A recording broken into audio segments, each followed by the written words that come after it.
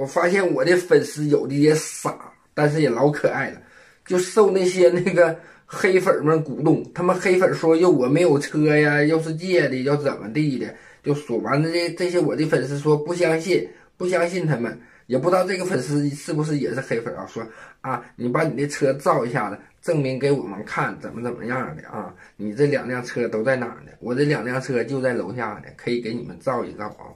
等着啊！我现在干啥呢？你们知道吗？